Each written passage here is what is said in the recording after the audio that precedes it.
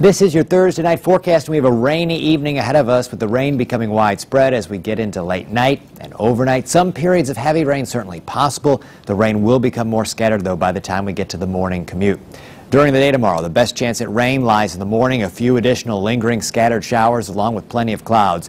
Over the course of the afternoon, though, the clouds decrease, the sun comes back out, and it'll end up being a nice afternoon with high temperatures in the lower 60s. We'll stay dry into our Friday night, then even Saturday morning, that's going to be rain-free, but watch as the clouds increase once we get into our Saturday afternoon. Then another round of rain moves in. That round of rain will clear by the time we get to our Sunday. Take a look at the next 10 days here. 61 is our Friday high on Saturday 54, Sunday 55, Monday 56, Tuesday 60, Wednesday 63. Then we'll peak out at 72 next Thursday as rain chances continue. That's your latest forecast update.